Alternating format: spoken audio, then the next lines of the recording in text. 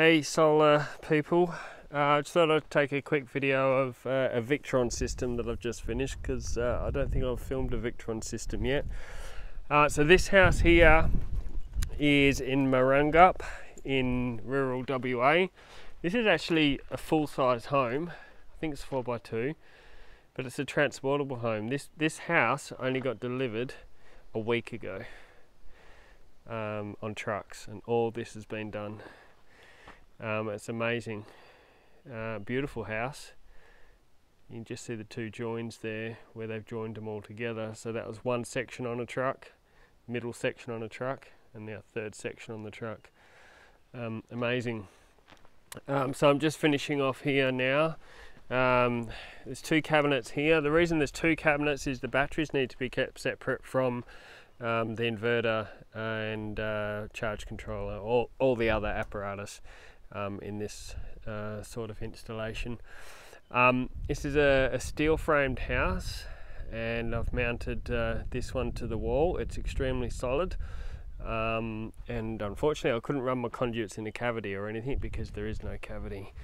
But uh, this side will actually all be enclosed anyway and is apparently going to be a cat run. Um, so this is inside the cabinet. You've got your inverter there and your charger. So that will charge from the generator if need be. Um, charge controller there so that looks after the solar charging. A switchboard with a generator changeover switch so we can switch to generator in case the system fails.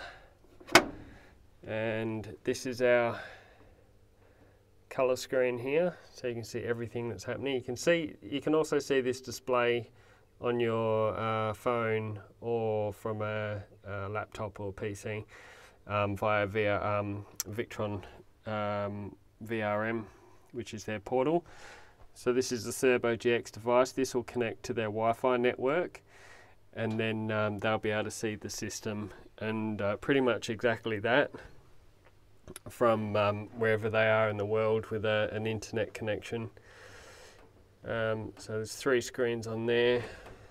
I can actually manually start the generator from here as well if I want to. Um,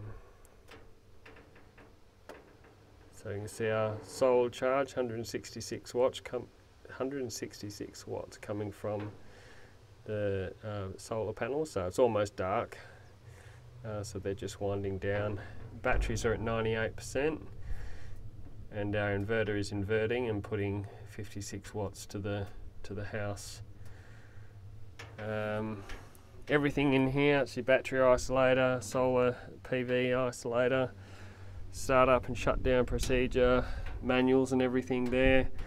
Um, all done nice and neat. Just shut this up. And then you've got your battery cabinet here. Again, I've used Power Plus Energy batteries. Uh, there's only two which again is a bit small for this house, um, but they're pretty confident that that's about all they're going to need. They're going to live pretty conservatively. A lot of a lot of stuff is gas. Um, we've got a shunt in there just for accurate measurement of the battery state of charge. Alright, so I can actually fit another two batteries in there. It doesn't look like it, but I've actually got a space between the two. Um, yeah, so beautiful little cabinet. This comes pre pre-wired and everything from Power Plus. Actually, I'll just put them in there. Sorry, that probably sounds terrible.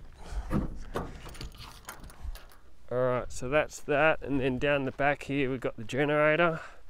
So it was quite a long generator run, which wasn't ideal, but is what it is. So the cables run underground through here, then go down to our uh, able generator that I've used on this one.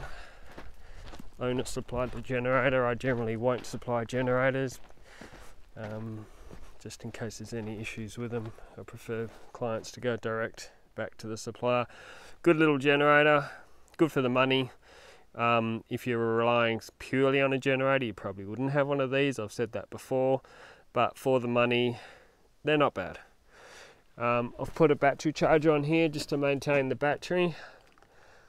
So at the moment it's um, putting a bit of charge and this can also go into storage mode which is great because you don't necessarily want any regular battery charger connected to your battery because you'll destroy it.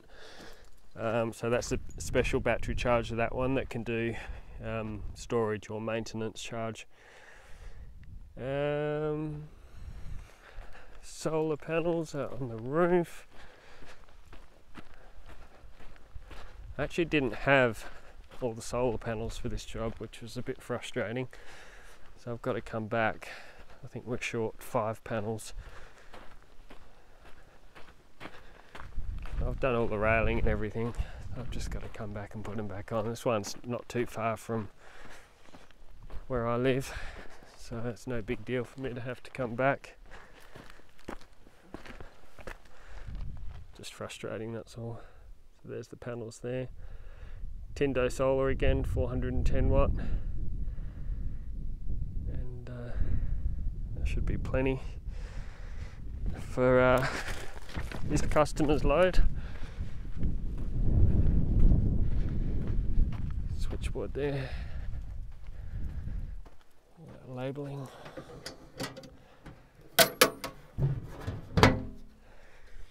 So they're having gas bottles there, gas hot water system there, instant gas. Um, so their electrical loads aren't that huge. So there we go. Thanks for watching. Catch ya.